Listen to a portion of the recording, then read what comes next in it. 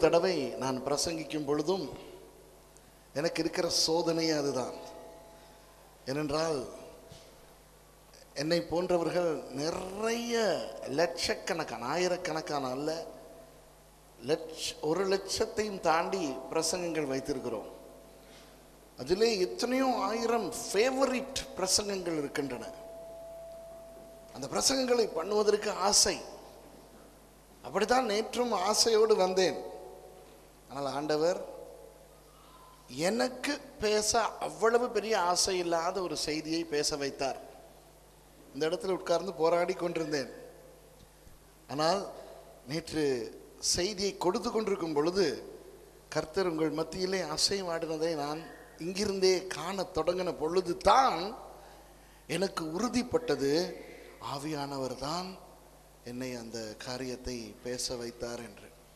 அதே போல தான் இன்றைக்கும். எனக்கு ஆசையான செய்தி அல்ல. ஆசை இல்லாத செய்தி என்று ஒன்று கிடையாது. ஆனால் எனக்கு ஆசையான செய்திகளில் ஒன்றை நான் இப்பொழுது பேச வரவில்லை.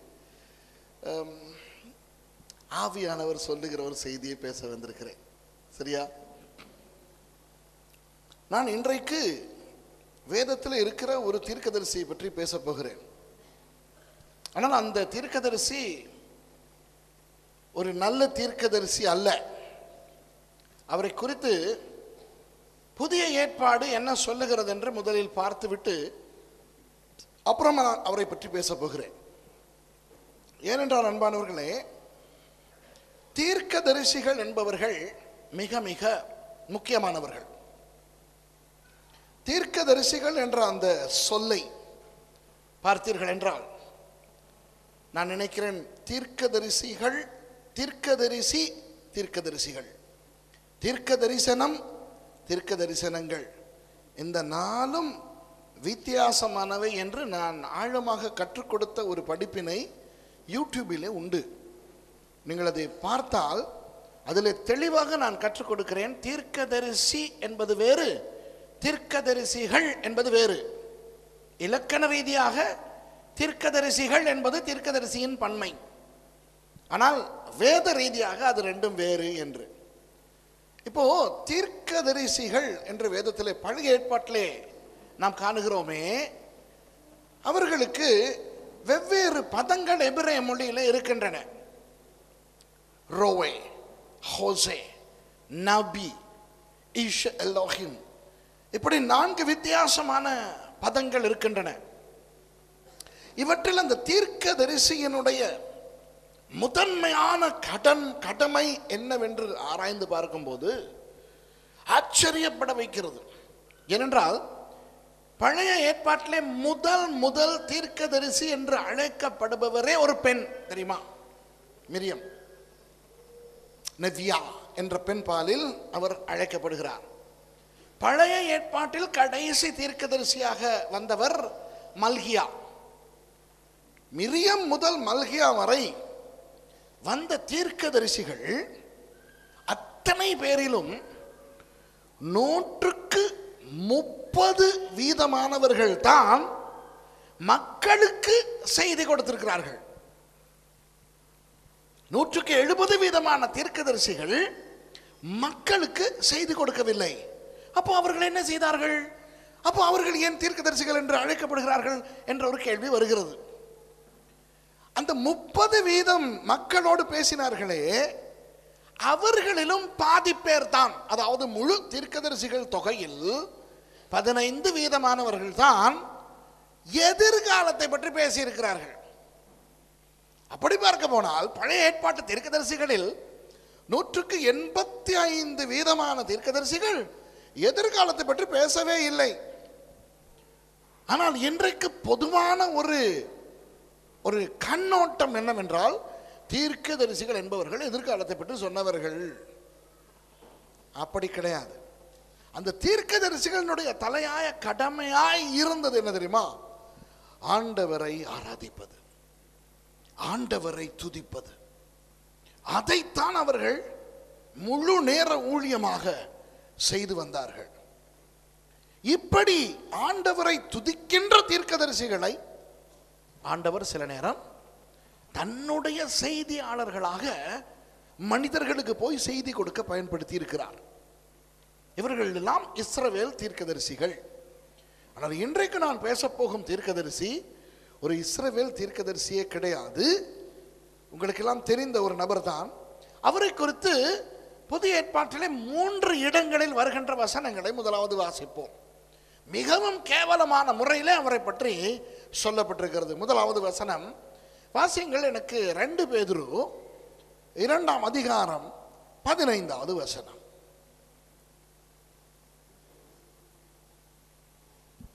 செம்மையான வழியை விட்டு தப்பி நடந்து பேயோரின் குமாரனாகிய பீலையாமின் வழியை பின்பற்றி போனவர்கள் அவன் அநீதத்தின் கூலியை விரும்பி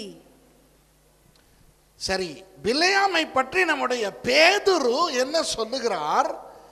அநீதத்தின் கூலிக்காக இஸ்ரவேல் ஜனங்களுக்கு எதிராய் வேலை செய்த ஒரு தீர்க்கதரிசி.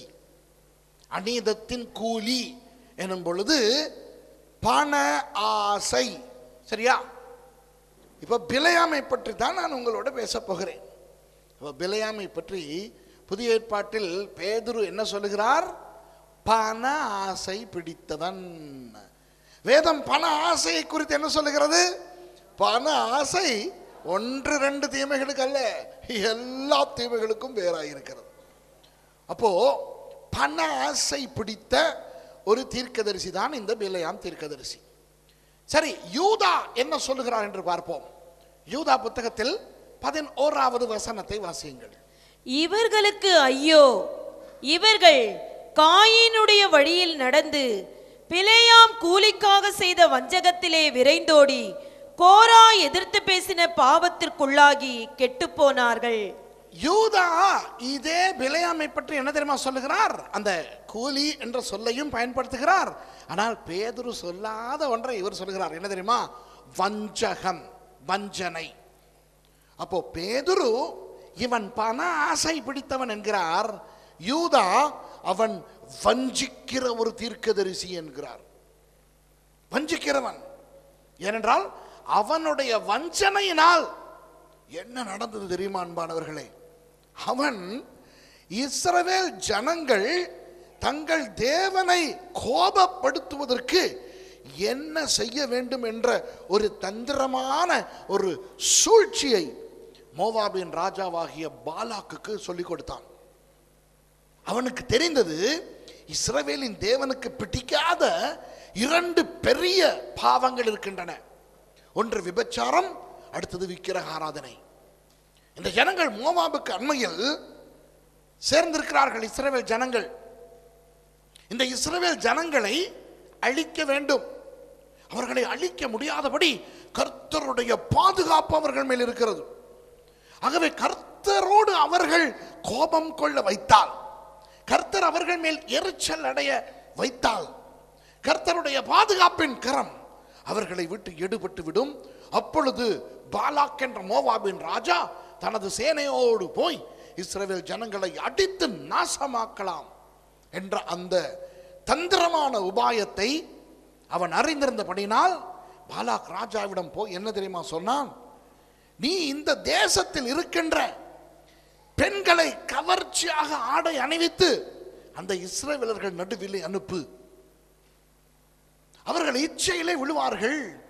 அப்படி இச்சையிலே விழுந்தவர்களை இதே பெண்களை கொண்டு இந்த தேசத்தின் விக்கிரகங்களை வணங்கவை. அப்போ ஒரு பாவம் அல்ல விபச்சாரம் என்ற பாவம் மாத்திரமல்ல.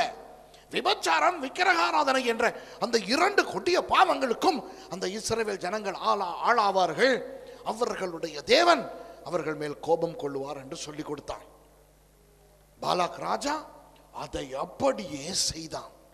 அதனால் என்ன நடந்தது? ஆயிரக்கணக்கான இஸ்ரவேல் ஜனங்கள் கொலை செய்யப்பட்டார்கள் செத்து மடிந்தார்கள். தேவனுடைய உக்கிர கோபம் அவர்கள் மேல் இறங்கியது. இப்படி தேவனுடைய ஜனங்களை வஞ்சித்த ஒரு வஞ்சகன் இந்த பிலையாம் தீர்க்கதரிசி. இயேசு ஆனவர் இந்த பிலையாமை பற்றி என்ன சொல்லுகிறார் என்று வெளிப்படுத்தல் இரண்டாம் அதிகாரம் பதினாலாவது வசனத்திலே பார்க்கலாம். ஆகிலும் சில காரியங்களை குறித்து உன் பேரில் எனக்கு குறைவுண்டு விக்கிரங்களுக்கு படைத்தவெளி புசிப்பதற்கும் வேசித்தனம் பண்ணுவதற்கும் ஏதுவான இடரலை இஸ்ரவேல் புத்திரர் முன்பாக போடும்படி பாலாக் என்பவனுக்கு போதனை செய்த பிழையாமுடைய போதகத்தை கைக்கொள்ளல் உன்னிடத்தில் உண்டு. போதகம் போதனை செய்த போதகம். கள்ளப்போதகம். இயேசுவானவர் விலையமுக்கு எப்படியான ஒரு அறிமுகத்தை கொடுக்கிறார்? கள்ளப்போதகன். பாருங்கள் பேதுரு சொல்லுகிறார் அவன் பண ஆசை பிடித்தவன் என்று. யூதா சொல்லுகிறார் அவன் வஞ்சகன் என்று. இயேசுவானவர் சொல்லுகிறார் அவன் ஒரு கள்ள போதகன் என்று. அப்போ இந்த மூன்று பாவங்களையும் பார்க்கும்போது நமக்கு தெரிகிறது பிலையாம் ஒரு கேடு கெட்ட கயவன் கெட்டவன் ஒரு கேவலமான கள்ளத்தீர்க்கதரிசி என்று ஒத்துக்கொள்ளுகிறீர்களா? ஒத்துக்கொண்டு தானே ஆக வேண்டும். வேதமே சொல்லுகிறதே பேதுருவுக்கு மறுத்து பேச முடியுமா? யூதாவுக்கு மறுத்து பேச முடியுமா? இயேசுவானவருக்கு மறுத்து பேச முடியுமா? தேவ ஆவியால் அருளப்பட்ட தேவனுடைய வார்த்தை சொல்லுகிறதே அந்த வார்த்தைக்கு மறுத்து பேச முடியுமா? முடியாது. ஆனால் உங்களுக்கு ஒரு உங்களுக்கு அது அதிர்ச்சியாய் வருமோ எனக்கு தெரியாது. அதிர்ச்சியான ஒரு தகவலை நான் கொடுக்க விரும்புகிறேன் அன்பானவர்களே. ஒருவேளை நீங்கள் இந்த பிரசங்கத்தை என்னுடைய பிரசங்கத்தை ஏதோ ஒரு வழியிலே பார்த்திருந்தால் இது அதிர்ச்சியாக இருக்காது. இல்லை என்றால் உங்களுக்கு ஒரு அதிர்ச்சியான தகவலை நான் கொடுக்க விரும்புகிறேன். இந்த பிள்ளையாம் தீர்க்கதரிசி இஸ்ரவேலன் அல்ல என்பது உண்மைதான். இருந்தாலும் இவன் ஒரு கள்ள தீர்க்கதரிசியாய் இருந்தவன் அல்ல. உடனே நீங்கள் யோசிக்கலாம் என்ன ஐயா சொல்லுகிறீர்? இஸ்ரவேலன் அல்ல என்கிறீர்? அப்புறம் இஸ்ரவேல் அல்லாதவர்கள் எப்படி நல்ல தீர்க்கதரிசிகளாக இருக்க முடியும்? வே இஸ்ரவேலர் அல்லாத வேறு ஜனங்கள் மத்தியிலே ஆண்டவருடைய தீர்க்கதரிசிகள் இருந்தது இல்லையே என்று. என்னுடைய ஆராய்ச்சிகளின் விளைவில் நான் கண்டுபிடித்த பல நபர்கள் இருக்கிறார்கள். அந்த நபர்கள் மெல்கிசெதேக்கின் வம்சத்திலே வந்தவர்கள். அவர்களில் ஒருவர் தான் இந்த பிலேயாம். நான் எலியாவை பற்றி நேற்று போதகர்கள் கருத்தரங்கில் சொல்லிக் கொடுக்கும் பொழுது எலியாவை குறித்தும் இதை நான் சொன்னேன். எலியா மெல்கிசேதேக்கு வழியிலே வந்தவர் என்று நான் சொன்னேன். அதே போல பிலையாமும் மெல்கி சேதைக்கு வம்சத்திலே வந்தவர். மோசே திருமணம் செய்தாரே சிப்போராள். அந்த சிப்போராளினுடைய அப்பா எத்ரோ. அவரும் மெல்கிசதேக்கு வம்சத்திலே வந்தவர். யோபு என்ற பக்தனும் மெல்கிசதேக்கு வம்சத்திலே வந்தவர். இப்போ நீங்கள் யோசிக்கலாம் வேதத்திலே அப்படி சொல்லி இல்லையே நீர் எப்படி அதை சொல்லுவீர் என்று. உண்மைதான் வேதத்திலே அப்படி சொல்லி இல்லை. ஆகவே ஆகவே சுரேஷ் சொல்லுவது நூற்றுக்கு நூறு வீதம் உண்மையாய் இருக்க வேண்டிய அவசியம் இல்லை புரியுதா? அவசியம் இல்லை இது என்னுடைய தனிப்பட்ட ஆராய்ச்சி. ஆனால் ஒன்று ரெண்டு விஷயங்கள் சொல்லுகிறேன் கேளுங்கள். யோபு இஸ்ரவேலனே கிடையாது. அவர் வாழ்ந்தது வட அராபியாவிலே ஒரு பிரதேசத்திலே. அந்த காலத்தில் அந்த இடத்துக்கு ஊத்ஸ் என்று பெயர். அவர் லேவி கோத்திரத்தை சேர்ந்தவரை அல்ல ஏனென்றால் கோத்திரங்கள் உருவாக முன்பு வந்தவர். பழைய ஏற்பாட்டிலே ஏன் முழு வேதத்திலும் முதலாவது எழுதப்பட்ட புத்தகம் எது தெரியுமா? யோபு புத்தகம். அப்போ மோசே வந்து பிற்காலத்திலே ஆரோனையும் அவன் மகன்மாரையும் ஆசாரியர்களாக ஏற்படுத்தி ஆசாரியத்துவத்தை உண்டாக்கி லேவி கோத்திரத்தார் தான் ஆண்டவருக்கு பலி செலுத்த முடியும் என்ற அந்த உபதேசத்தை கொடுப்பதற்கு முன்னரே இந்த யோபு என்பவர் ஆண்டவருக்கு பலி கொடுத்தார். ஆண்டவரும் அதை ஏற்றுக்கொண்டார். ஞாபகம் இருக்கிறதா? தன்னுடைய மகன்மாருக்காக ஒருவேளை அவர்கள் பாவம் செய்திருக்க கூடும் என்று யோபு ஆண்டவருக்கு பலி கொடுத்தார். பலி செலுத்தினார். ஆண்டவர் அதை கேட்டார் யோபுவை போல ஒரு நீதிமான் அக்காலத்தில் இருக்கவில்லை. யோபுவோடு ஆண்டவர் இருந்தார். எந்த அளவுக்கு அந்த யோபுவை பிசாசு வெறுத்தான் என்றால் கர்த்தருடைய சமூகத்துக்கே போய் அந்த யோபுவை குறித்து எதிர்த்து பேச அவன் போனான் என்றால் பாருங்கள் யோபு எந்த அளவு ஒரு பக்தனாய் இருந்திருக்க வேண்டும். யோபுவின் கதை உங்களுக்கு நன்றாக தெரியும். அப்போ யோபுவுக்கும் இஸ்ரவேலருக்கும் சம்மந்தமே கிடையாது. அதுபோல எத்ரோவை யோசித்து பார்த்தால் மோசையினுடைய மாமனார். அவர் வாழ்ந்த பிரதேசமோ மீதியான். மீதியானியர்கள் விக்கிரகாராதனைக்காரர்கள். அவர்களுக்கு மீதியானின் தெய்வங்கள் இருந்தன.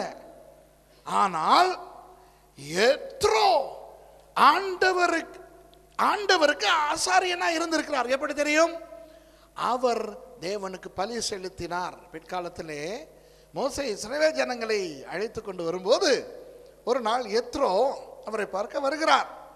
வந்து மருமகனை பார்த்து சொல்லுகிறார் மருமகனே நீ இவ்வளவு பெரிய ஒரு கூட்டத்தை தனியாய் நடத்துவது கஷ்டமான ஒரு காரியம்.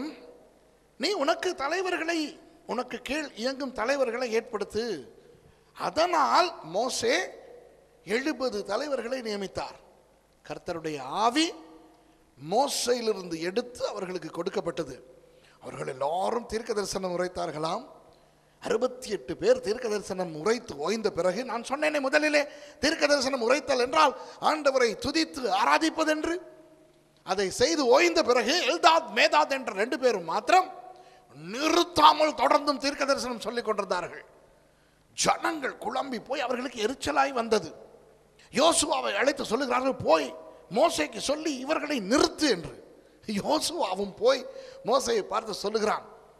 இவர்களை நிறுத்த சொல்லி ஜனங்கள் எல்லாரும் சொல்லுகிறார்கள் அவர்கள் தேவையில்லாமல் தொடர்ந்து தீர்க்க தரிசனம் உரைக்கிறார்கள் என்று மோசே சொல்லுகிறார். முழு இஸ்ரவேலர்களும் இந்த மாதிரி தீர்க்க தரிசனம் உரைக்க வேண்டும் என்று நான் ஆசைப்படுகிறேன் என்று. இந்த சம்பவத்துக்கு பிறகு எத்தனை என்ன தெரியுமா செய்கிறார்? ஆண்டவருக்கு பலி செலுத்துகிறார் என்று வாசிக்கிறோம்.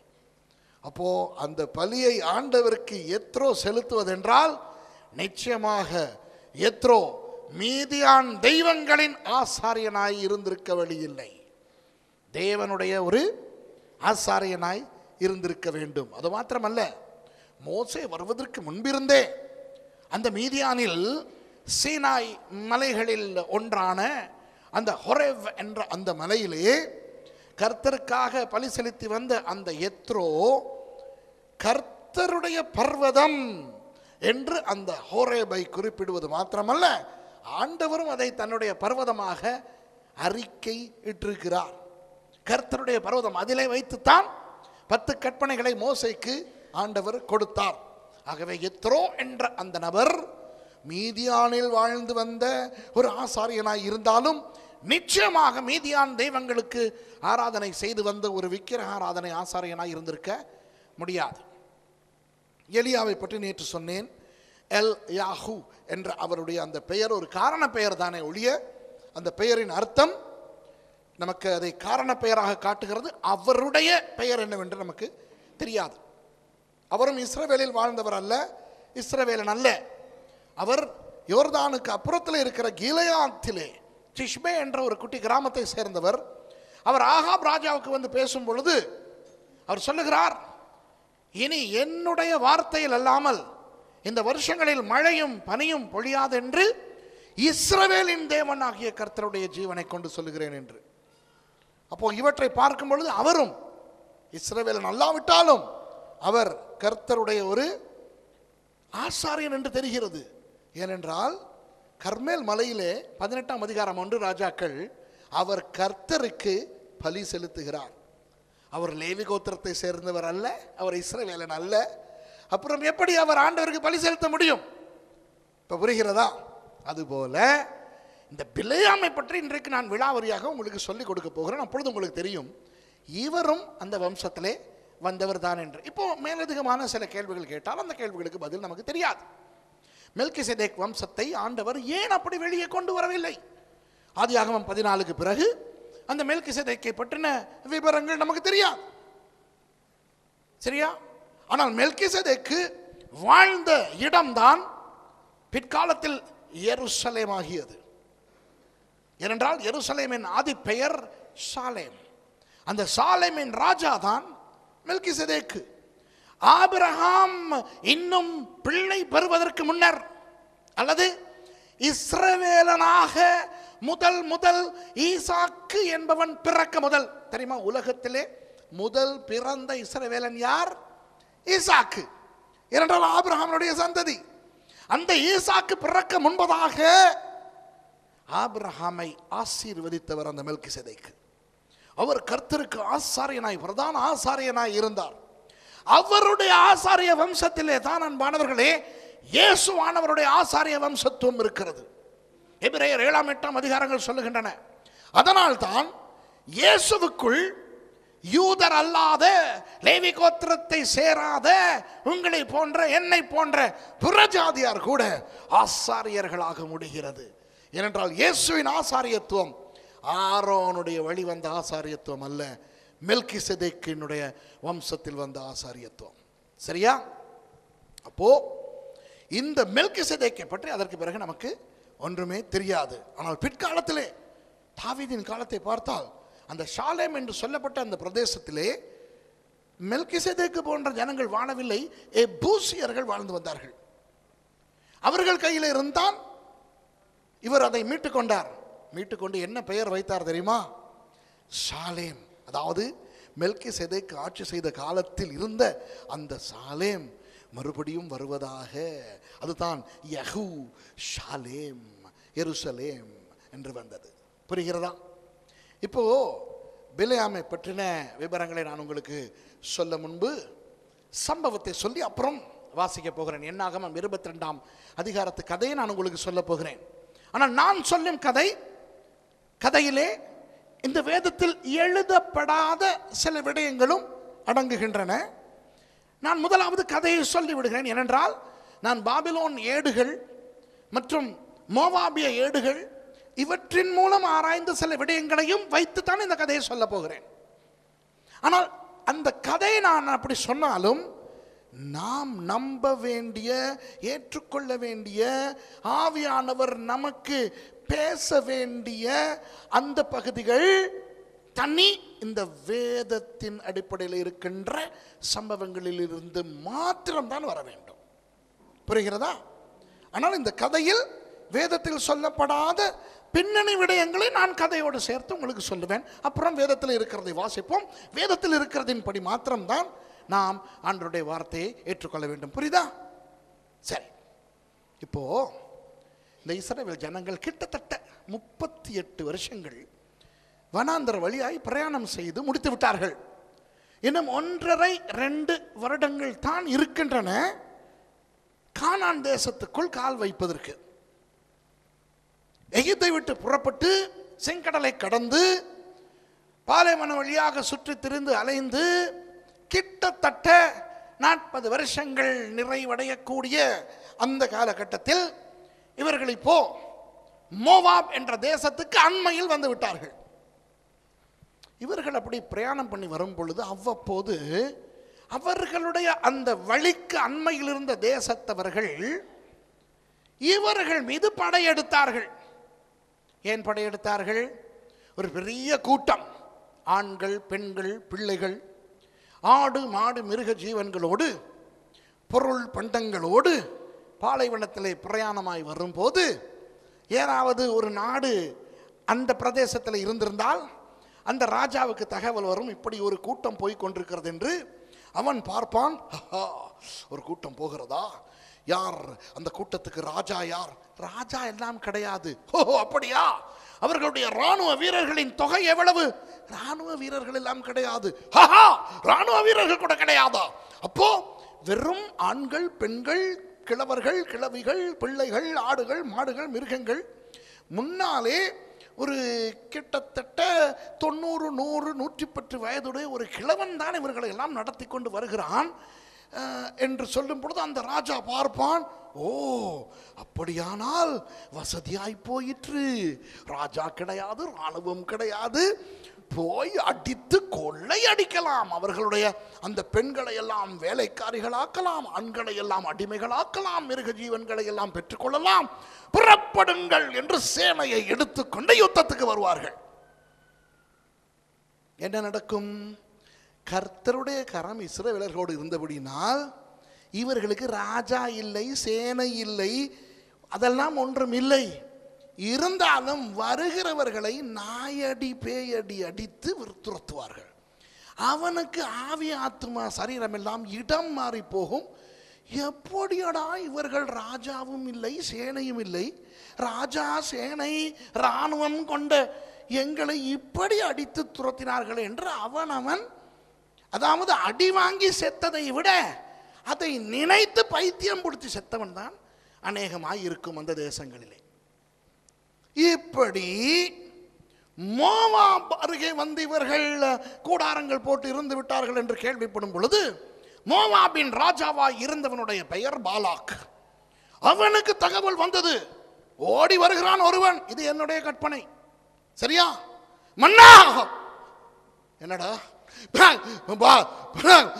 சொல்லடா. பா பா பா, என்ன? பாலைவனம் ஆ பாலைவனம் தான்டா அங்கே தான் வாழ்கிறோம் இதுக்கு என்ன? ஆற அமர சொல்லு. பாலைவனத்தில் அந்த கூட்டம் வந்துருச்சு. எந்த கூட்டமாடா? ஆகா மோ மோ மோ மோ என்ன? மோசே. மோசே. யார் அந்த அந்த அந்த ஒரு பயங்கர கூட்டம் இருக்கிறதே? கண்டவர்களை எல்லாம் அடித்து துரத்தி அந்த மோசே எங்க? என்ன? பக்கத்துக்கு வந்து விட்டார்களாம்.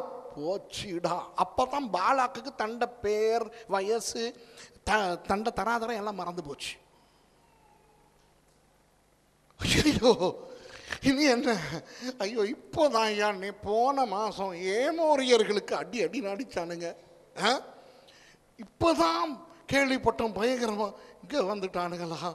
ஐயோ மாடு புல்ல இப்படி நாக்க போட்டு இழுத்து நக்கி திங்குமே. அந்த மாதிரி நம்மளை மேஞ்சிருவாங்களே இவங்க என்று பாலாக் பயந்தான். இப்போ அவனுக்கு கையும் மூடவில்லை காலும் மூடவில்லை ஆ? சிங்காசனத்திலே உட்கார்ந்தால் முள் குத்துவது மாதிரி இருக்கிறது. தண்ணீர் குடித்தால் விஷம் குடிப்பது மாதிரி இருக்கிறது. சாப்பிட்டால் இதற்கு கீழே இறங்க மாட்டேன் என்கிறது. இவனுக்கு அப்படி என்றால் மந்திரிமாருக்கும் அப்படி. மந்திரிமார் இவனுக்கு ஆறுதல் சொல்வார்கள் என்று பார்த்தால் மந்திரிமார் இவனிடத்தில் ஆறுதலை எதிர்பார்த்து கொண்டிருக்கிறார்கள். சரியா? என்னடா செய்யறது தெரியவில்லை. மன்னா நீர் தான் சொல்ல வேண்டும். பிரதம மந்திரி எங்கே? இதோ இங்கே. நடுங்கி கொண்டிருக்கிறார். என்னடா? காய்ச்சல் எல்லாரும் குழம்பி இருக்கிறானுங்க. இவங்களுக்கு எல்லாருக்கும் ஒட்டு மொத்தமாக ஹோல்சேலாக ஆவி ஆத்மா சரீரம் எட்டம் மாறி போயிடுச்சு என்ன செய்தான்? இந்த அடி வாங்கிய தேசங்கள் அவர்களில் சில தோழமை தேசங்கள் இருக்கும்.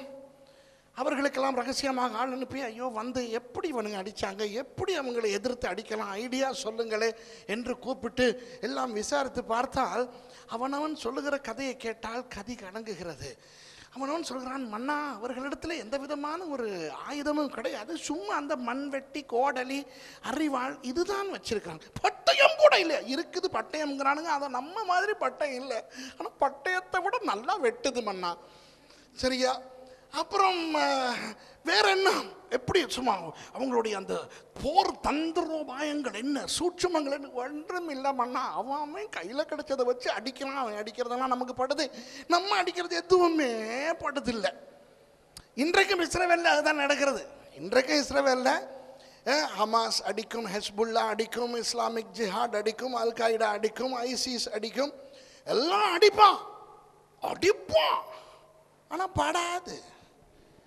இருந்துட்டு இருக்கா இஸ்ரேவேல் அடித்தா படும். அப்புறம் அதை வீடியோ பண்ணி நியூஸில் போட்டு சும்மா இருக்கிறவனை அடிச்சிட்டான் அடிச்சிட்டான்ட்டு இஸ்ரேவேலை மொத்திக்கிட்டு இருப்பானுங்க. அன்றைக்கும் இப்படித்தான். அப்போது இவர்களுக்கு இப்போ என்ன செய்வதென்று தெரியவில்லை. இப்போ இவர்கள் யோசிக்கிறார்கள் எப்படி ஒரு ராஜா இல்லாமல் இராணுவம் இல்லாமல் இவர்கள் இவ்வளவு யுத்த வீரர்களாக இருக்கிறார்கள்?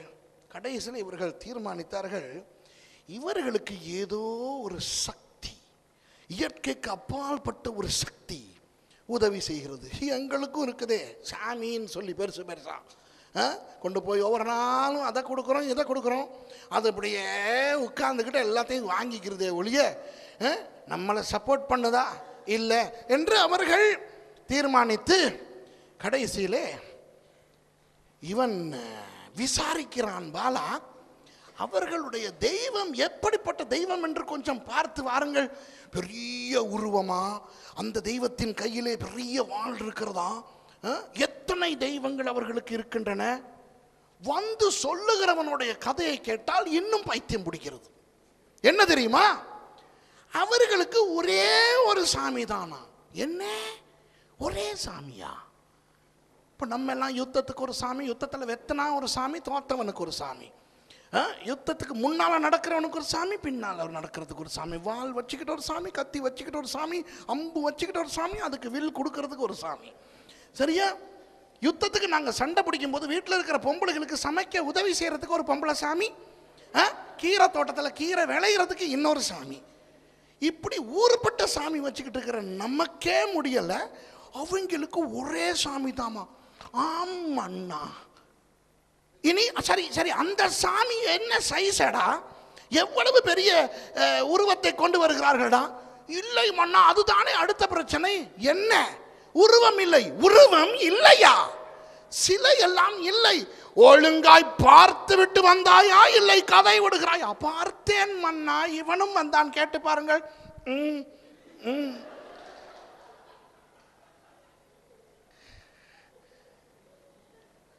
ஒரே சாமி அது எப்படி இருக்கும்னு தெரியாது. கருப்பா சிகப்பா ஆம்பளை சாமியா பொம்பளை சாமியா அதெல்லாம் தெரியாது மண்ணா ஐயோ இது என்னடா? இப்போ ஒரே ஒரு வழிதான் உண்டு ஒரே ஒரு வழிதான் உண்டு. இந்த சாமி தான் இவர்களுக்கு உதவி செய்கிறது. இந்த சாமியை இவர்களோடு இவர்களுக்கு உதவி செய்யாமல் பண்ணுவதற்கு ஒரு மந்திரம் வேண்டும். நிறைய பேரை அழைக்கிறான். இப்போ இதுதான் சரித்திரம். வேதத்தில் இல்லாத நான் சரித்திரம் மூலமாக கண்டுபிடித்த ஒன்று. ரெண்டு ரெண்டு பேராக தெரிந்த அத்தனை தேசங்களுக்கும் அனுப்புகிறான். போய் விசாரியுங்கள். இந்த ஜனங்கள் கும்பிடுகிற சாமி போல சாமி கும்பிடுகிற யாராவது ஒரு சக்தி வாய்ந்த மந்திரவாதி இருக்கிறானா? எகிப்து பக்கம் ஒரு ஆள் போ மீதியான் பக்கம் போ அங்கே உள்ள குட்டி குட்டி தேசங்களுக்கு போ மேல் பக்கம் போ கீழ் பக்கம் போ எல்லாம் போ. போய் விசாரித்து பார். மந்திரவாதி எல்லா தேசத்திலும் இருக்கும். ஆனால் நமக்கு எப்படிப்பட்ட ஒரு மந்திரவாதி வேண்டும்? இந்த தெய்வத்துக்கு இருக்கிற ஒரு மந்திரவாதி மாதிரி ஒரு மந்திரவாதி வேண்டும். அப்போ போய் பாருங்கள் இந்த விக்கிரகம் வைக்காத ஒரே தெய்வத்தை வணங்குகிற ஒரு சக்தி வாய்ந்த மந்திரவாதி இருந்தால் என்ன கிரயம் கொடுத்தாவது அவனை கொண்டு வாருங்கள். அவன் மூலம் இந்த தெய்வத்தை இவர்களோடு கோபித்துக் கொள்ள வைக்க. போகிறார்கள். எகிப்துக்கு போனார்கள். மீதியான் தேசத்தில் இருந்த குட்டி குட்டி நாடுகளுக்கெல்லாம் போனார்கள். சரியா? அப்புறம் பக்கத்து பக்கத்து அண்டை நாடுகளாகிய அம்மோனுக்கு போனார்கள். கானானுக்குள்ளே அறுபத்தி நாலு தேசங்கள். அங்கேயும் போனார்கள். பாபிலோன் வரை போனான். வருகிறவன் எல்லாம் என்ன தெரியுமா சொல்லுகிறான்? மன்னா நீர் அனுப்பின தேசத்துக்கு போனோம். நல்ல நல்ல சக்தி வாய்ந்த மந்திரவாதிகள் இருக்கிறார்கள். கோலை போட்டால் பாம்பு பாம்பாகிற எகிப்திய மந்திரவாதிகள் கூட இருக்கிறார்கள். ஆனால் எல்லாரும் இந்த நிறைய தெய்வங்களை வணங்குகிறார்கள். அந்த இவர்கள் வணங்குகிற தெய்வத்துக்கு ஒப்பான தெய்வத்தை வணங்குகிற யாரையும் காணவில்லை. வருகிறவன் எல்லாம் இதைத்தான் சொல்லுகிறான். ஆனால் பாபிலோனுக்கு போனார்கள் ரெண்டு பேர். பாபிலோனிலே உள்ளவர்கள் அவர்களுக்கு சொன்னது என்ன தெரியுமா? இங்கே அப்படி மந்திரவாதி கிடையாது ஏனென்றால் இங்கே எல்லாம் நிறைய தெய்வங்களை பாருங்கள் பெரிய பெரிய பெரிய பெரிய தெய்வங்களை தான் விக்கிரகமாக வைத்து கும்பிட்டு கொண்டிருக்கிறார்கள். ஆனால் அதோ தூரத்திலே தெரிகிறது ஒரு மலைத்தொடர். என்ன மலைத்தொடர்? பெயோக் பெயோக் என்று சொல்லுகிற மலைத்தொடர் தமிழிலே பேயோர். அந்த மலைத்தொடரிலே ஒரு மலையிலே ஒரு சக்தி வாய்ந்த மந்திரவாதி இருக்கிறான். அவன் விக்கிரகங்களை வணங்குகிறவன் அல்ல. ஒரு தெய்வத்தை தான் வணங்குகிறானாம். ஆனால் அவன் எப்படிப்பட்டவன் என்றால் அவன் யாரையாவது ஆசீர்வதித்தால் ஆசீர்வதிக்கப்படுகிறார்கள். அவன் யாரையாவது சபித்தால் சபிக்கப்படுகிறார்கள். பயங்கர சக்தி வாய்ந்த சாமியார். சரியா? அவனை வேண்டுமானால் போய் பாருங்கள். ஆனால் அவன் யார் கூப்பிட்டாலும் வரமாட்டான். அந்த மலையிலே தனியாக அவன் வாழ்ந்து கொண்டிருக்கிறான் என்று சொல்லவும்.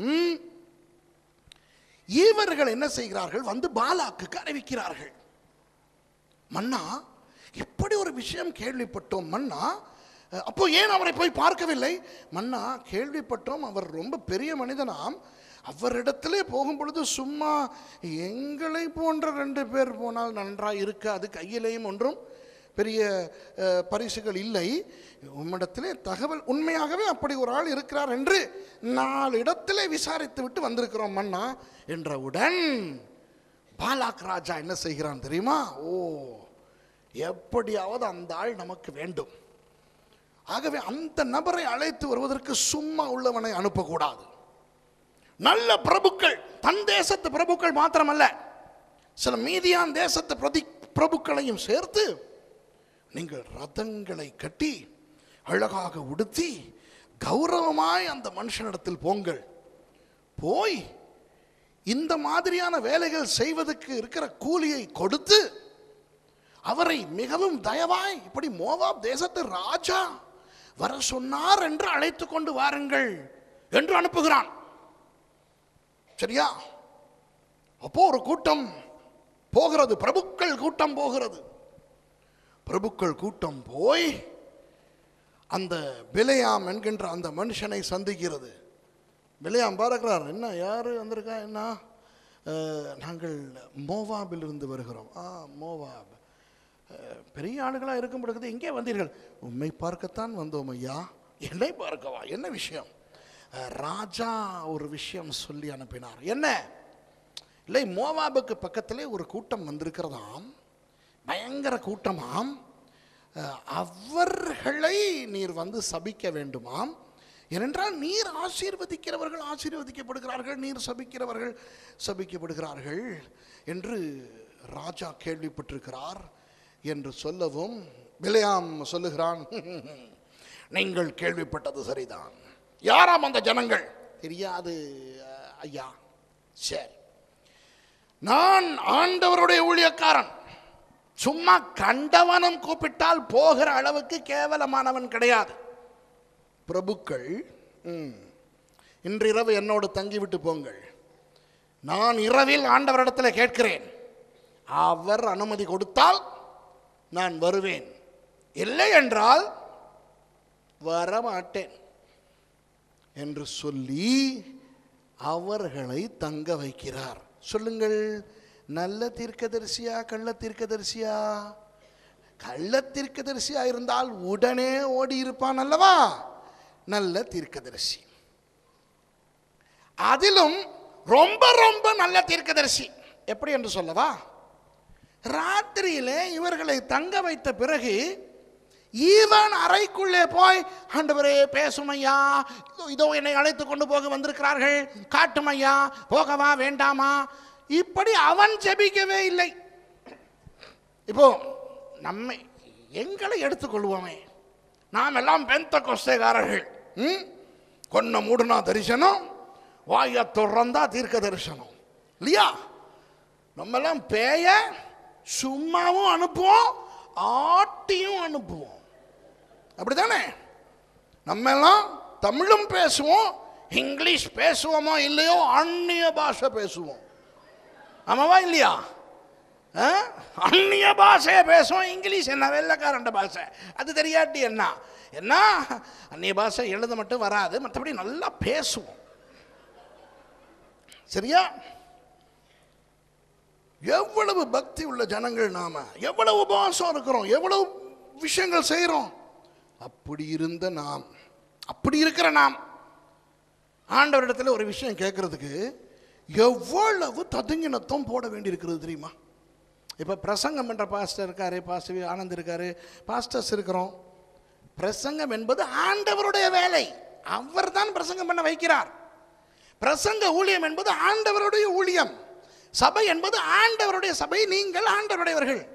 இந்த ஆண்டவருடையவர்களாகிய உங்களுக்கு ஆண்டவருடைய சபையாகிய இந்த சபைக்கு வந்து ஆண்டவருடைய வார்த்தையை கொடுத்து விட்டு போகவே என்னை போன்றவர்கள் முழங்காலில் இருந்து முக்கிய முழங்க வேண்டும். கர்த்தாவே பேசுமையா பேசுமையா எதை பேசட்டும் எதை பேசட்டும். லேசில் பேச மாட்டார். உபவாசம் இருக்கணும் ஜெபிக்கணும் எல்லாம் பண்ண பிறகு அப்புறம் பேசுவார். ஆமாவா இல்லையா? அப்படி இருக்கும்போது இந்த பிள்ளையும் சும்மா அவனுங்களை தங்க வச்சது மட்டும்தான். ஆண்டவரா வந்து பிலியாம் கிட்ட கேட்குறாரு எடா யார் அது வந்திருக்கிறா? அப்போ பிள்ளையாம்ட பரிசுத்தம் எங்களை விட பயங்கர வசத்தி ஏற்றுக்கொள்றீங்களா இல்லையா? என்ன ஒரு மாதிரி பார்க்குறீங்க உள்ளதை தான் சொல்கிறேன்னா இல்லையா? ஆண்டவர் நம்மளோட பேச வைக்கிறதுக்கு நம்ம படுற பாடு இருக்கே. ஒரு ஒரு உதாரணத்தை சொல்லவா? நல்லா நானும் என் பொண்டாட்டியும் இங்கிலாண்டில் வாழ்ந்துக்கிட்டு இருந்தோம். நல்லா தான் இருந்தோம். நல்லா ஆண்டவர் வச்சிருந்தார்.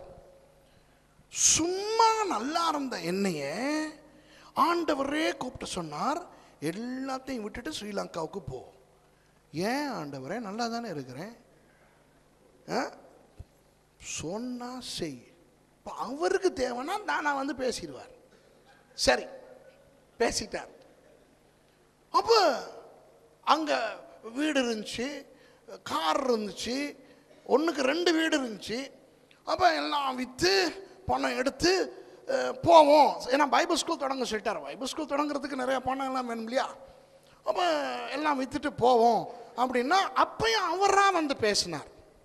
விற்காத சும்மா கொடுத்துட்டு போ. நாதா உண்மையாகவே நீர் தான் பேசுகிறீரா? ஆமாம் நான் தான் பேசுகிறேன் சும்மா கொடுத்துட்டு போ. அஞ்சு பேங்க்கில் அக்கௌண்ட் இருந்தது எனக்கு. அவ்வளவு பணத்தை எடுத்து கொடுக்குறதையும் கொடுத்துட்டு ஒரு பவுண்ட் டுவெண்ட்டி பென்ஸ் அதாவது ஒரு ரூபாய் இருபது காசு. வச்சுக்கிட்டு மாத்திரம் ஏர்போர்ட்டுக்கு போயாச்சு. இப்படி தான் வந்தது. ஸ்ரீலங்காவில் வந்து ஏர்போர்ட்டில் இறங்கி கண்டிங்கிற எங்களுடைய வீடு வரைக்கும் வாகனத்தை வாடகைக்கு எடுத்துகிட்டு போய் பாஸ்டர் ராஜா உட்காந்துருக்காரு அவர்கிட்ட கடன் வாங்கி தான் அந்த டாக்ஸிக்கு காசே கொடுத்ததுனா. அப்படி ஒரு ஓட்டாண்டியாக தான் என்னை ஆண்டவர் கொண்டு வந்தார். எதுக்கு கொண்டு வந்தார்? பைபிள் ஸ்கூல் தொடங்குறதுக்கு. வந்த உடனே கேட்டேன் நாதா அடுத்து என்ன? பேச மாட்டார். நாதா பேச மாட்டார். நாதா எங்கே நாதா நீர்?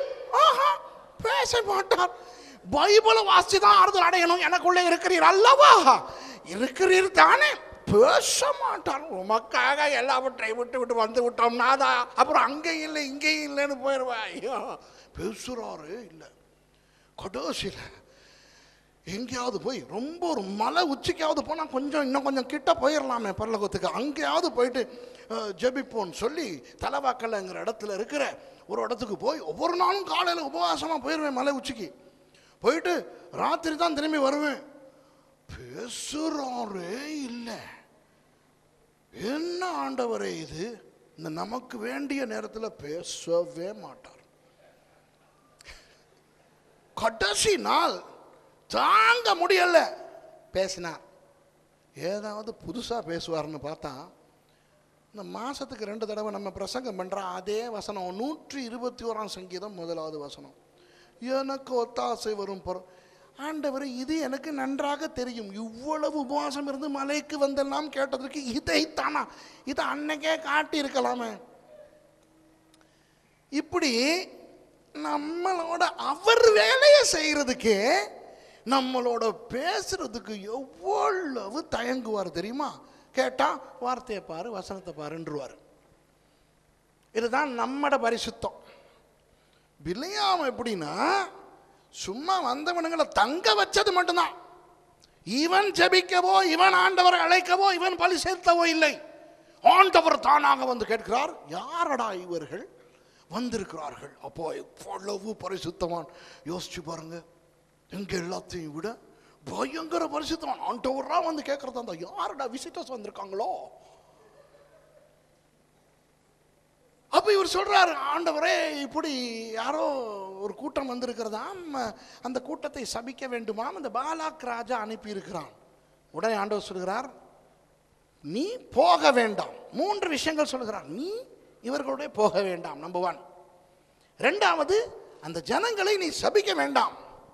மூன்றாவது அவர்கள் ஆசீர்வதிக்கப்பட்டவர்கள்.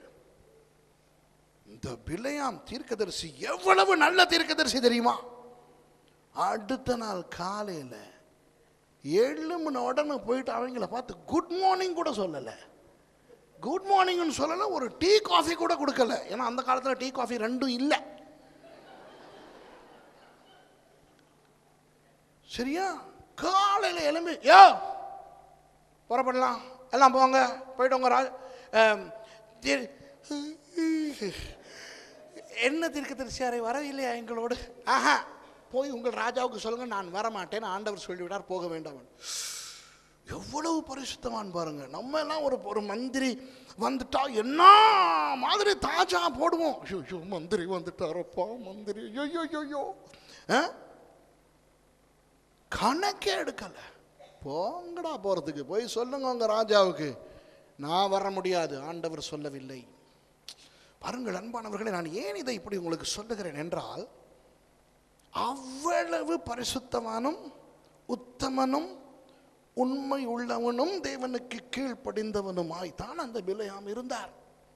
கடைசியில் என்ன புதிய ஏற்பாடு அவரை குறித்து சொல்லுகிறது?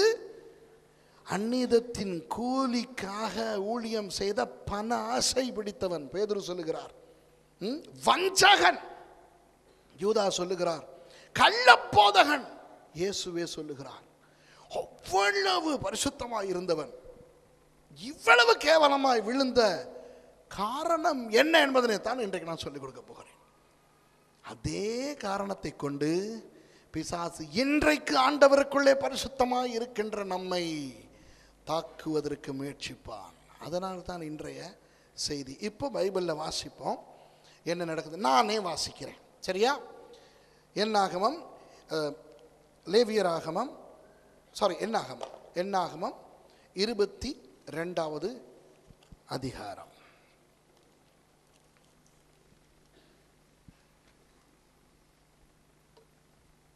பின்பு இஸ்ரவேல் புத்திரர் பிரயாணம் பண்ணி எரிகோவின் கிட்ட இருக்கும் யோர்தானுக்கு இக்கரையிலே மோவாபின் சமனான வெளிகளில் பாளையம் இறங்கினார்கள்.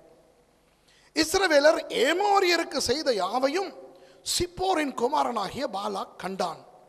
ஜனங்கள் ஏராளமாக இருந்தபடியினால் மோவாப் மிகவும் பயந்து இஸ்ரவேல் புத்திரரை நிமித்தம் கலக்கமடைந்து மீதியானியரின் மூப்பரை நோக்கி மாடு வெளியில் புல்லை மேய்கிறது போல இப்பொழுது இந்த கூட்டம் நம்மை சுற்றி இருக்கிற யாவையும் மேய்ந்து போடும் என்றான்.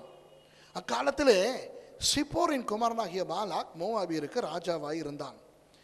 அவன் பேயோரின் குமாரனாகிய பிலையாமை அழைத்து வரும்படி தன் சந்ததியாருடைய தேசத்தில் நதி அருகே உள்ள பெத்தூருக்கு ஸ்தானாபதிகளை அனுப்பி நதி அருகே நதி என்று நேற்று சொன்னேன். நதி என்று வேதத்தில் சொன்னால் அது எந்த நதி? ஐபராத் நதி. ஓகே அது எங்கே இருக்கிறது? பாபிலோன். பாபிலோனுக்கு பக்கத்திலே தான் இந்த மலைத்தொடர் இருக்கிறது. அங்கே பிலையாம் இருந்தார். எகிப்திலிருந்து ஒரு ஜனக்கூட்டம் வந்திருக்கிறது.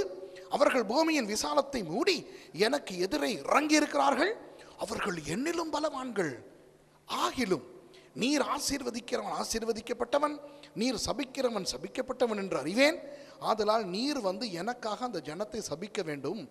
அப்பொழுது ஒருவேளை நான் அவர்களை முறையை அடித்து அவர்களை இத்தேசத்திலிருந்து துரத்தி விடலாம் என்று சொல்ல சொன்னான். அப்படியே நன்றாய் பாருங்கள். மோவாபின் மூப்பரும் மீதியானின் மூப்பரும்.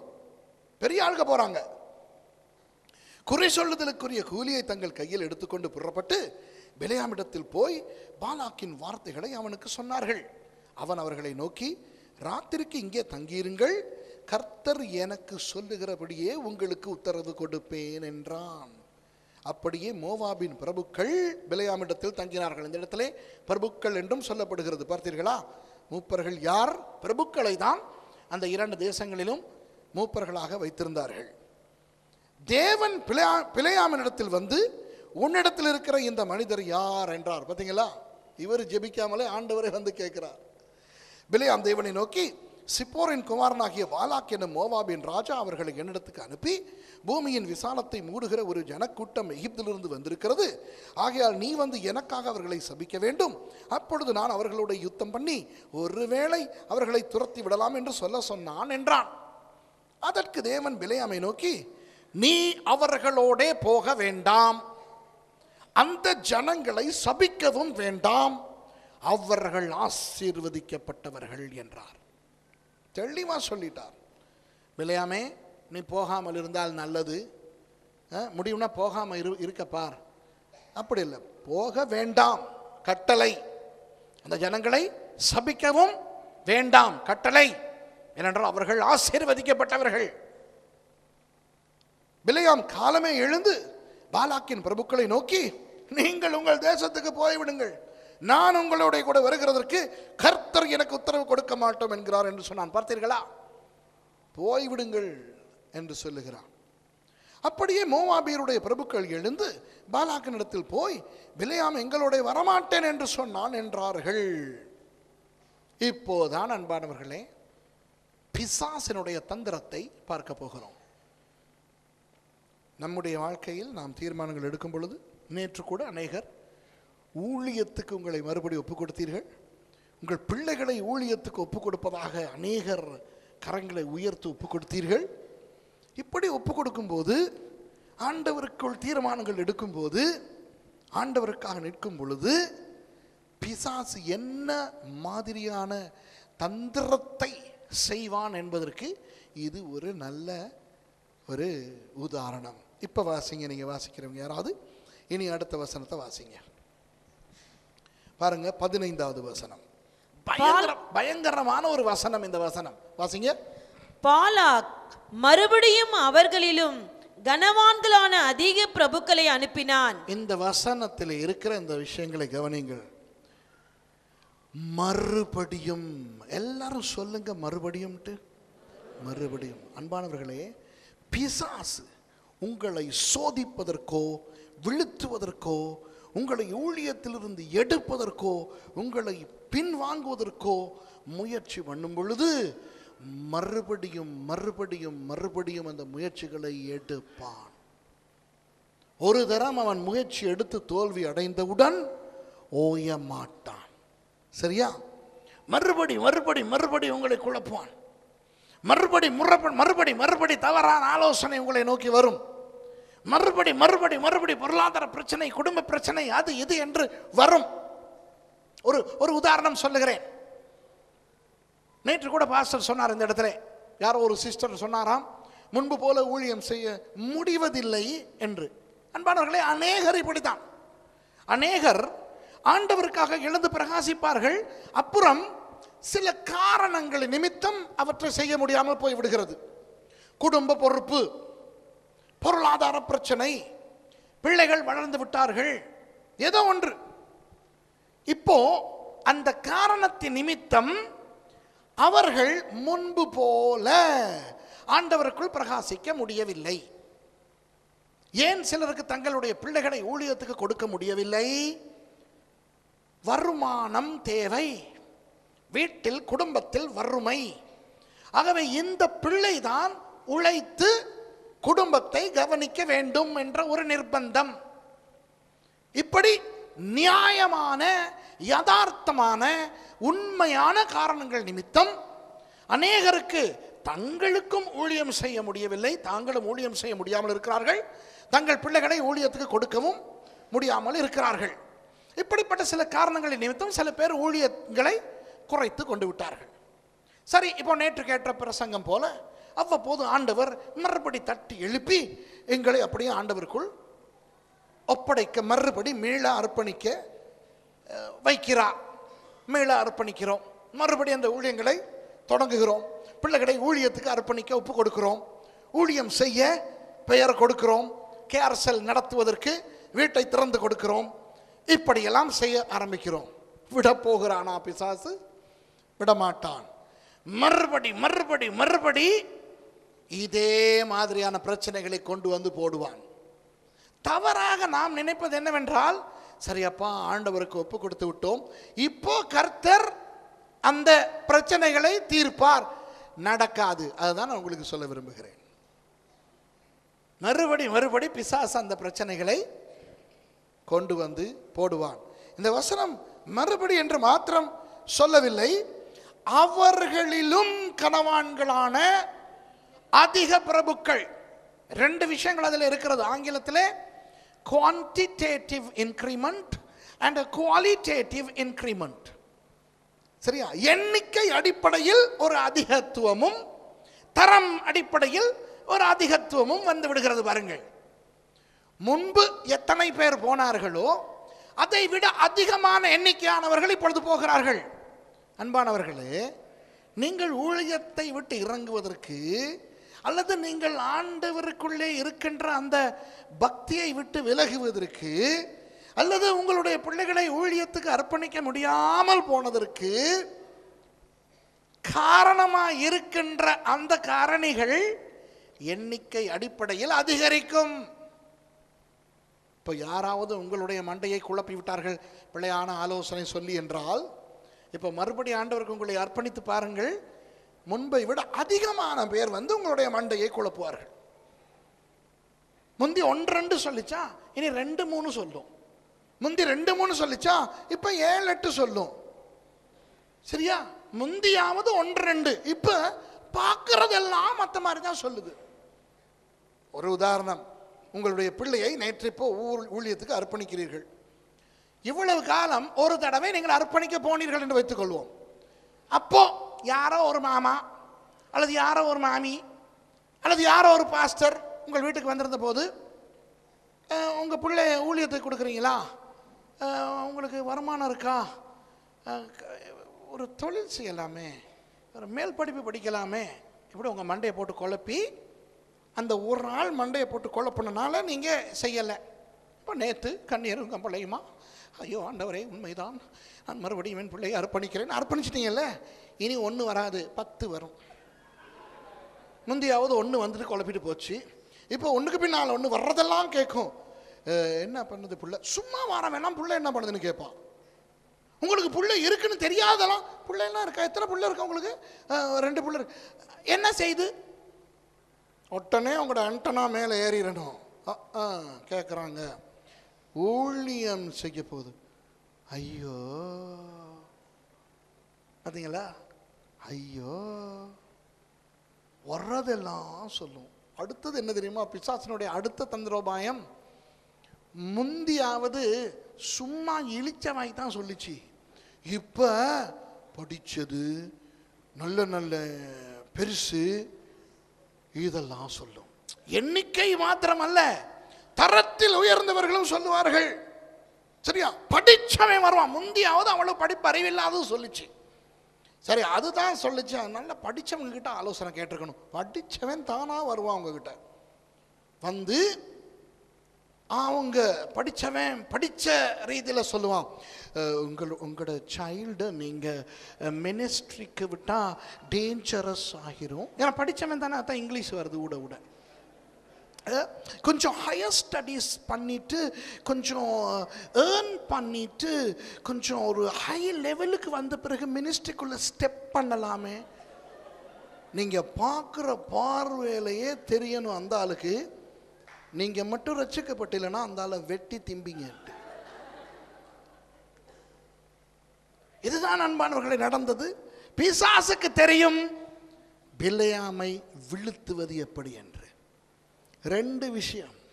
அதிகமானோர் வருகிறார்கள் அதுவும் முன்பு வந்தவர்கள் முன்பு வந்தவர்களே பிரபுக்கள். இப்போ அதை விட கனவான்கள் வருகிறார்கள். இன்னும் ஒரு விஷயம் இருக்கிறது மூன்றாவதான ஒரு ஐட்டம் இருக்குது. என்ன தெரியுமா?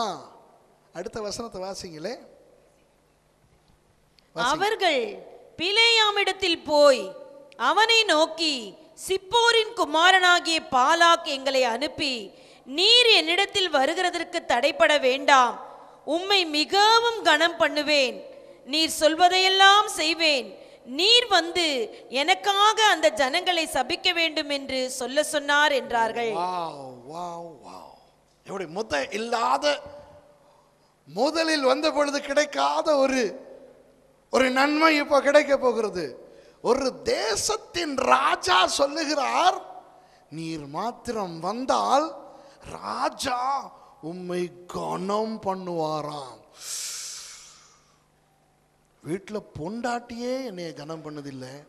இங்கேயும் இருக்கிற ராஜா கனம் பண்ண போறானேனா அவன் நினைப்பானோ இல்லையோ? விளங்குதா? கனம் கனம். இந்த பார்த்த கனம் என்பது ஒன்றை சொல்லுகிறேன் உண்மையாக அநேக ஊழியக்காரர்களை விழுத்துவது இந்த கனம்.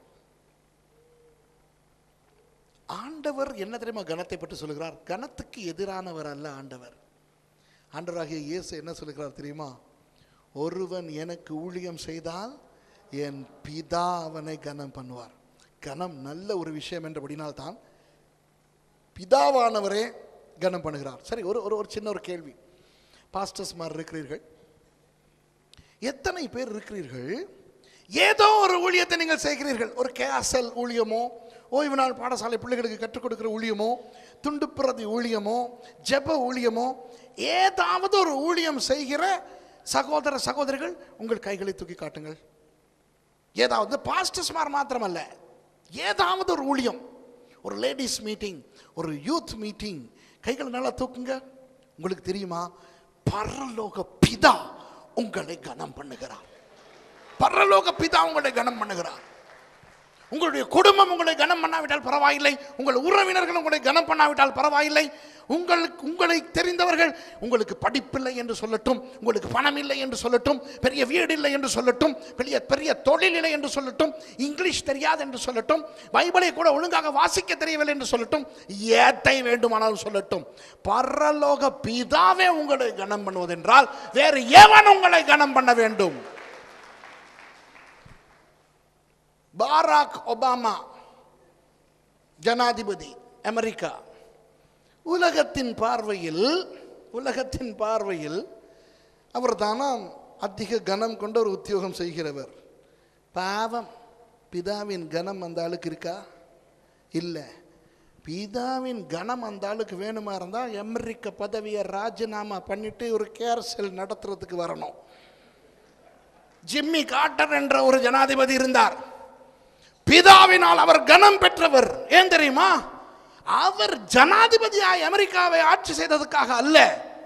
ஒவ்வொரு ஞாயிற்றுக்கிழமையும் சண்டே ஸ்கூல் டீச் பண்ணினபடியினால். விளங்குதா? ஏப்ரஹாம் லிங்கன் இப்படி அமெரிக்க ஜனாதிபதிமார் சில பேர் கர்த்தருக்கு ஊழியம் செய்யும் பொழுது பிதாவினுடைய கனம் அவர்களுக்கு கிடைத்தது. ஆனால் இன்றைக்கு பாராக் ஒபாமா போன்றவர்களுக்கு கூட இல்லாத பிதாவின் கனம் கர்த்தருடைய ஊழியக்காரர்களுக்கு இருக்கிறது. அப்படி இருக்கும் பொழுது மற்றவர்கள் நம்மை கனம் பண்ண வேண்டும் என்று ஏன் அவதிப்பட வேண்டும்? பிசாசு இதை ஒரு வஞ்சனையாய் செய்து வருகிறான். அநேக ஊழியக்காரர்கள் விழுந்து போவதற்கு காரணம் இந்த பெருமையை இந்த கனத்தை எதிர்பார்த்து தான்.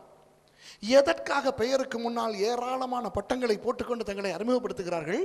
அந்த கணத்தை எதிர்பார்த்து தான் சரியா? கணம் பிதாவே கொடுத்த பிறகு மக்கள் கொடுக்க தேவையில்லை. கொடுத்தால் அது அவர்களுக்கு.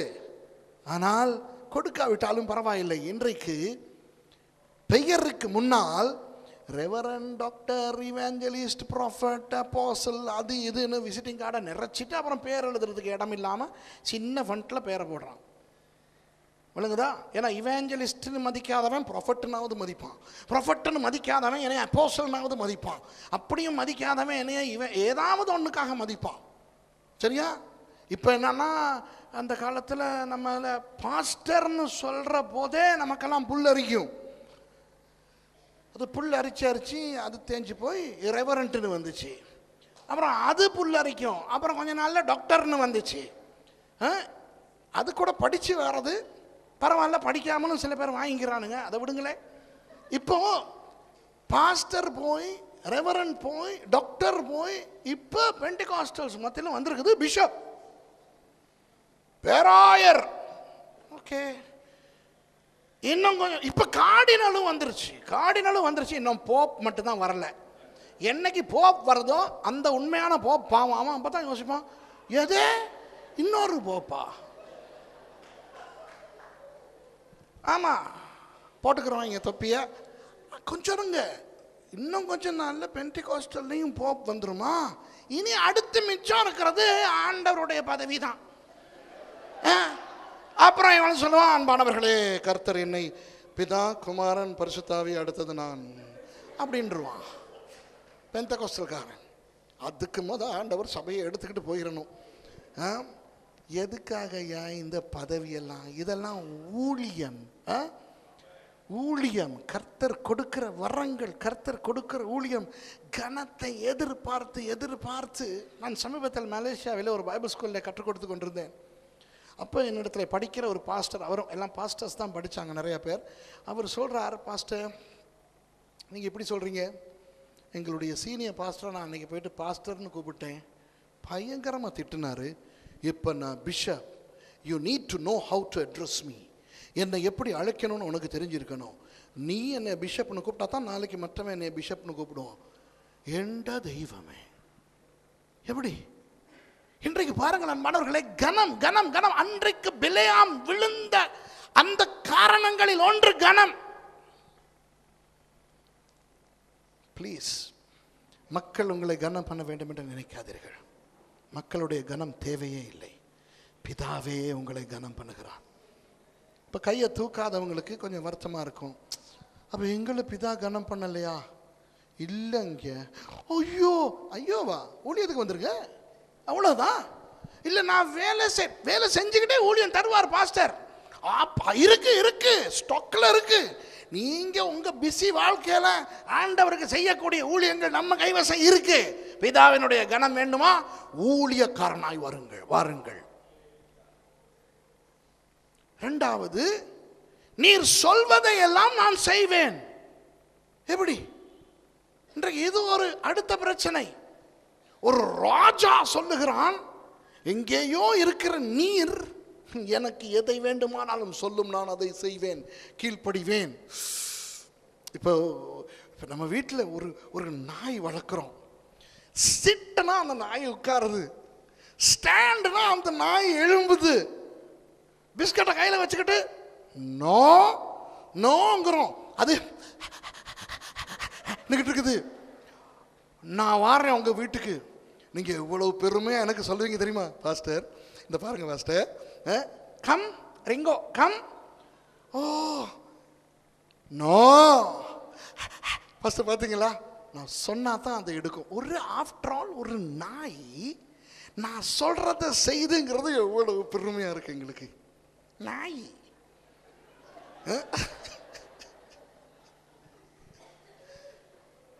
பிசாசுக்கு இது தெரியும். ஆகவே இவன் பாலாமை விளையாமை எப்படி ஏமாற்றுகிறான் பாருங்கள். ஒரு சாதாரண வளர்ப்பு பிராணியே எனக்கு கீழ்ப்படுகிறது என்று சந்தோஷப்படக்கூடிய மனிதர்களுக்கு ஒரு தேசத்து அரசனே நான் சொல்லுவதை செய்வான் என்கிறான் என்றால் அது எவ்வளவு ஒரு பெரிய பெருமை. இவனால் தாங்க முடியவில்லை அன்பானவர்களே. சரியா? உடனே இவன் என்ன செய்கிறான்? வாசிங்க. பதினெட்டாவது வசனம். பிள்ளையாம் பாலாக்கின் ஊழியக்காரருக்கு பிரதியுத்தரமாக பாலாக் எனக்கு தன் வீடு நிறைய வெள்ளியும் பொன்னும் தந்தாலும் சிறிய காரியமானாலும் பெரிய காரியமானாலும் செய்யும் பொருட்டு என் தேவனாகிய கர்த்தரின் கட்டளையை நான் மீறக்கூடாது. பதினெட்டாவது வசனத்துல மாப்பிள்ளை பயங்கர பரிசுத்தவனா தான் இருக்கிறார். சரியா? என்ன சொல்றார் தெரியுமா? நான் பாலாங் பாலாக் என் வீட்டு நிறைய பரிசுகள் கொடுத்தாலும் நான் கர்த்தரை மீற மாட்டேன் பொய்க்கு சொல்றான். ஏன் தெரியுமா? அடுத்த வசனத்து முத சொல்ல பாருங்களே. ஆகிலும். இப்போ நீ சொ- நீ உண்மையான மனுஷனா இருந்தா அப்படி சொல்லி அவனுங்களை அனுப்பியிருக்கணும். வீடு நிறைய பொன் தந்தாலும் நான் வரமாட்டேன். கருத்தருக்கு விரோதமாய் நான் போக மாட்டேன் சொல்லிட்டு அகிலும் பார்த்தீங்களா அதான் பிரச்சனை. ஆகிலும் வாசிங்க. கர்த்தர் இனிமேல் எனக்கு என்ன சொல்லுவார் என்பதை நான் அறியும்படிக்கு நீங்களும் இந்த ராத்திரி இங்கே தங்கியிருங்கள் என்றான். பாருங்கள் அன்பானவர்களே தன்னுடைய இறையியலையே மாற்றிவிட்டான். தன்னுடைய மூல உபதேசத்தை டாக்டரின் ஆஃப் காட் ஆண்டவரை பற்றின இறையியலையே மாற்றிவிட்டான். இவ்வளவு பெரிய ஒரு பக்திமானுக்கு தா- தேவனை பற்றி தெரியாதா? அவர் மனம் மாற மாட்டார். அவர் சொன்னால் சொன்னதுதான். நேற்று ஒன்று சொல்லிவிட்டு இன்றைக்கு இன்னொன்று சொல்ல மாட்டார். ரெண்டாயிரம் வருஷங்களுக்கு முன்பு சபை கூடி வருதலை சிலர் விட்டு விடுவது போல நீ விட்டு விடு ஆதிருப்பாயாக என்றவர் இன்றைக்கும் அதையே தான் சொல்லுகிறார். இப்போ இருபத்தோராம் நூற்றாண்டு. இப்போ டிவி வெளியே சர்வீஸ் எல்லாம் வீட்டில் காட்டுறாங்க. ஆகவே இந்த எபிரேயரில் நான் சொன்னதை நீங்கள் கொஞ்சம் அமெண்ட் பண்ணலாம். சரியா? சந்தர்ப்ப சூழ்நிலைகள் காரணமாக சபை கூடி வருதலை நீங்கள் விட்டு விடுவது இந்த காலத்தில் பிரச்சனை இல்லை சொல்லுவாரா ஆண்டவர்? அன்றைக்கு அது பிரச்சனை இன்றைக்கும் பிரச்சனை. தசம பாகம். ரெண்டாயிரம் வருஷங்களுக்கு முன்பு புதிய ஏற்பாட்டு சபையிலே கொடுக்கப்பட்டது. இப்பையும் சபைக்கு தசம பாகம் கொடுக்க வேண்டும். எவ்வளவு பெரிய கஞ்சனாய் இருந்தாலும் தசம பாகத்தை கொடுத்தே ஆக வேண்டும். ஆண்டவர் அதை மாற்ற மாட்டார். சரி உங்களுக்காக மாத்திரம் நான் மாத்துறேன். ஏன்னா நீ நாலு பிள்ளைகள் பெற்றுக்கிட்ட ரெண்டு தான் பிளான் பண்ண. எக்ஸ்ட்ராவாக ரெண்டு தனா வந்துருச்சு. அதனால உனக்கு நீ மாத்திரம் வர்ற நாலு வருஷத்துக்கு தசம பாகம் கொடுக்க தேவையில்லை. சொல்லுவாரா? சொல்ல மாட்டார். விளங்குதா? அவர் நேற்றும் இன்றும் என்றும் மாறாதவர் அவருடைய வார்த்தை மாறாது. ஆனால் பிலையாம் என்ன சொல்லுகிறான்? நீங்களும் தங்குங்கள் பார்ப்போம் இதை குறித்து ஆண்டவர் வேறு ஏதாவது சொல்ல இருக்கிறதா? என்று. முட்டாள்தனமான வேலை. அன்பானவர்களை உங்களை ஆண்டவர் அழைத்து நீங்கள் ஊழியத்துக்கு உங்களை ஒப்பு கொடுத்து க- ஊ- சபையால் உங்களுக்கு ஒரு பொறுப்பு கொடுக்கப்பட்டு இப்படி ஆண்டவருக்குள் நீங்கள் ஒரு படி எடுத்து வைத்த பிறகு வேறு அபிப்பிராயங்களின் பின்னே போகாதீர்கள். இதை குறித்து கர்த்தர் மேலதிகமாக என்ன சொல்லுவார் என்று பார்க்க முயற்சிக்காதீர்கள். ஏனென்றால் கர்த்தர் ஒரு தடவை சொன்னது சொன்னதுதான். அதை அவர் மாற மாட்டார் மீற மாட்டார் இப்போ நீங்கள் சில பேர் யோசிக்கலாம்.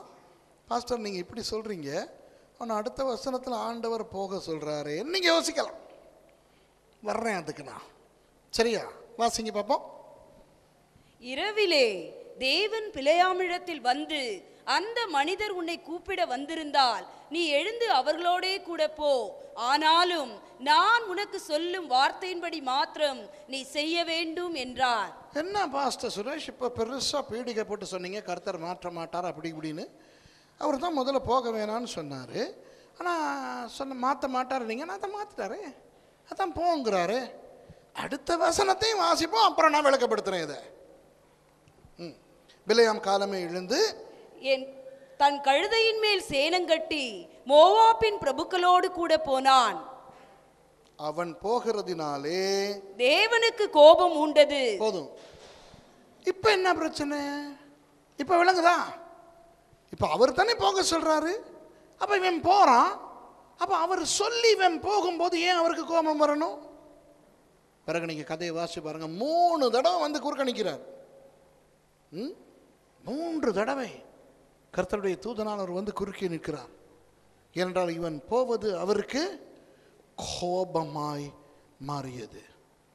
அப்போ அந்த வசனத்தில் சொல்லியிருக்கிறதே சரி நீ அவர்கள் உன்னை அழைக்க வந்திருந்தால் நீ போ ஆனால் நான் சொல்வதை மாத்திரம் தான் நீ சொல்ல வேண்டும். அன்பானவர்களை இந்த இடத்திலே தான் மூல மொழியும் எழுதுவது பேசுவது என்ற அந்த வித்தியாசமும் அமைந்திருக்கிறது. ஆங்கிலத்தில் ஒரு அழகான சொல் இருக்கிறது. சினக்கல் ஐரணி. சினக்கல்னா தமிழில் அந்த கிண்டல் கிண்டல் மாதிரி. ஐரணி என்றால் நான் சொல்லும் வார்த்தைக்கு எதிரானது தான் நான் சொல்லும் வார்த்தையின் அர்த்தம். சில நேரம் உங்கள் வீட்டுக்கு வந்தவங்க போகும்போது என்ன தெரியுமா சொல்லுவாங்க? அப்போ நான் வர்றேன். போகிறேன்னு தானே சொல்லணும். வர்றேன் அப்படின்ட்டு போகிறாங்க அவர்கள் வர்றேன் அப்படின்னு சொல்லுவது போறேன் என்பதை குறிக்கும். சரிதானே? அதுலேயே கிண்டல் கலந்தா சினக்கல் ஐரணி. அடிக்கடி நான் பயன்படுத்தும் ஒரு உதாரணம். உங்கள் சின்ன பாப்பா ஐஸ்கிரீம் கேட்குது மம்மி மம்மி ஐஸ்கிரீம் தாங்க மம்மி ஐஸ்கிரீம் தாங்க. ஏய் பேசாம வா கும்ப இங்கே இருக்கிற காலநிலையில் இங்கெல்லாம் மழை மாதிரி இருக்குது. அப்புறம் இருமுறதுக்கா? அப்புறம் சளி வரிக்கிறது வர்றதுக்கா? ஒழுங்கா சொல்லிட்டு மம்மி மம்மி ஐஸ்கிரீம் தாங்க மம்மி. அடிப்பேன். ஐஸ்கிரீம் சரி இந்தா வாங்கி கொடுத்தாச்சு. நல்லா நக்கிக்கிட்டு வருது. அடுத்த நாள் காலையில் கொக்கு கொக்குன்னு இருமுது. உடனே மம்மி கேட்குறாங்க வாங்கி தரவா ஐஸ்கிரீம்? அவங்க ஐஸ்கிரீம் இப்போ வாங்கி தரவான்னு கேட்கல இப்போ அதை எழுதுறாங்க. ஒரு ஆள் எழுதுறா. Kamala asked her daughter shall I buy ice cream? சரியா கமலா மகளிடம் நான் உனக்கு ஐஸ்கிரீம் வாங்கி தரவா? என்று கேட்கிறார். அப்போ அதை இன்னொரு ஆள் வாசிக்கும்போது இவங்க உண்மையிலே ஐஸ்கிரீம் வாங்கி தரவான்னு கேட்குற மாதிரி இருக்கும். ஏன்னா எழுதும்போது உணர்ச்சியை போட்டு எழுத முடியாது. சரியா? இப்போ போங்கிறத நீங்கள் எழுதுங்க. அதை வாசிக்கும்போது சில பேர் எப்படி வாசிப்பாங்க? போ. சில பேர் போ. சில பேர் போ. தானே? ஆனால் அந்த இடத்துல அந்த போ எப்படி சொல்லப்பட்டதுன்னு வராது இவங்களுக்கு. சரியா? போவை எத்தனை விதங்களை சொல்லலாம்? போ. நான் அர்த்தம் என்ன தெரியுமா? அவனே போயிரு இல்லைனா அது சரியா? போ. அப்படின்னா ஐயோ போய் தொலையேன். சரியா? ஆ? போ. அப்படின்னா அது சரி போயிட்டு வா. சரியா? போ. இப்படி நிறைய போ இருக்குது. இப்போ இந்த போ அதை எப்படி எழுதுவீங்க? அதுக்கும் போவண்ணா தான். இல்லையா? போ. அதுவும் போவண்ணா தான். ஆ? போ. அதுக்கும் போனா அதுபோல இந்த இடத்துல என்ன உணர்ச்சி என்று நான் உங்களுக்கு காட்டுகிறேன். ஆண்டவருக்கு இவன் செய்தது கோபத்தை ஏற்படுத்தியது. இவன் விட்ட த- முதல் தவறு என்ன தெரியுமா? அவர்களை தங்க வைத்தது. முதல் குழுவை தங்க வைத்தான் சரி. இப்போ இவர்களை வீட்டுக்குள்ளே எடுக்காமலேயே அனுப்பியிருக்க வேண்டும். மாறாக மறுபடியும் ஒரு ஆண்டவர் இடத்துல கேட்டு பார்ப்போம். அவர் ஏதாவது மனதை மாற்றிக்கொள்வார். ஏன்றா குணம் வருது பணம் வருது. நான் சொல்கிறதெல்லாம் செய்கிறேன்னு ஒரு ராஜா வேற சொல்கிறான் மிஸ் பண்ண விருப்பம் இல்லை. அதனால் ஆண்டவரை எப்படியாவது தாஜா பண்ணி கேட்டு பார்க்கலாங்கிற ஐடியாவில் தான் இருங்கள் என்று சொல்லுகிறான். கர்த்தருக்கு கோபம் வந்து கருத்தை சொல்கிறார் ஓ உன்னை கூட்டிகிட்டு வர வந்து போய் வந்துட்டானுங்களோ? ஆ போ. ஆனால் நான் சொல்கிறத மாத்திரம் தான் நீ செய்யணும். புரியுதா? அதுதான் உணர்ச்சி. வந்துட்டாருங்களோ? உன்னை கூட்டிகிட்டு போகிறதுக்கு போ. ஆனால் நான் சொல்கிறத மாத்திரம் தான் செய்யணும். விளங்குதா? அதாவது நீ சொல்லுகிறாய் நான் சொல்வதை மாத்திரம்தான் செய்வேன் என்று. அப்படி சொன்னவன் எதற்காக அவர்களை நிறுத்தினாய்? போ. விளங்குதா இப்ப? என்ன அர்த்தம்? போகாதே. அதுதான் அர்த்தம். ஓ கூப்பிட வந்துட்டானுங்களோ? தங்க வச்சிட்டியோ? ஆ போகோ. என்ன அர்த்தம்? ஆயிரம் அர்த்தங்கள். அன்றைக்கு சொன்னேன் போகாதே என்று. அன்றைக்கு சொன்னேன் அவர்களை சபிக்காதே என்று. அன்றைக்கு சொன்னேன் அவர்கள் ஆசீர்வதிக்கப்பட்டவர்கள் என்று. தெரிந்தும் அவர்களை மறுபடி தங்க வைக்கிறாய். இதுதான் அன்றால சொல்றாரு. ஆனால் நீ மற்றவர்களுக்கு காண்பிப்பது என்ன? நான் சொல்லுவதை மாத்திரம்தான் நீ செய்வாயாம். அதையா செய்தாய்? அதை தான் ஆண்டவர் கேட்கிறார். Cynical irony. வேதத்திலே நிறைய இடங்களிலே இந்த சினக்கல் ஐரணி இருக்கிறது. இப்போ புரியுதா உங்களுக்கு? எத்தனை பேருக்கு புரியல? ஏன்னா நான் இதை திரும்பி புரியப்படுத்தணும். எல்லாருக்கும் புரிஞ்சிருச்சு. அன்பானவர்களே இதுதான் நடந்தது. அப்போது ஆண்டவர் போக வேண்டாம் என்றதைத்தான். அப்போ அந்த அம்மா அந்த பிள்ளையை பார்த்து என்ன வாங்கி தரவா ஐஸ்கிரீம்? அதுக்கு என்ன அர்த்தம் தெரியுமா? நேற்று படித்து படித்து சொன்னேனே இப்படி நடக்கும்னு. நீ தானே ஒத்த காலில் நின்று வாங்கின? அம்மா சொன்னது சரியாயிருச்சு பார்த்தியா அதுதான் அர்த்தம். ஆனால் அதை எதுவுமே சொல்லாமல் அவ்வளத்தையும் எண்ணத்தில் அடக்கிட்டாங்க. ஒரு கிண்டலான கேள்வியில் அடக்கிட்டாங்க. ஆ வாங்கி தரவா?